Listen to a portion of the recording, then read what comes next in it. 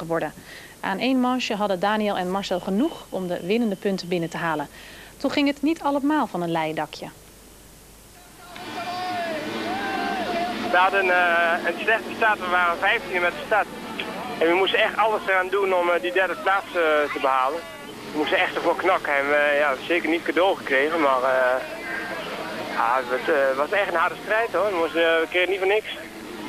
Een slechte start dus in het Zwitserse Tegerich.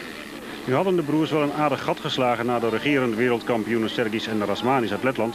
Maar een derde plaats was de minimumeis waaraan Daniel en Marcel Willemsen moesten voldoen.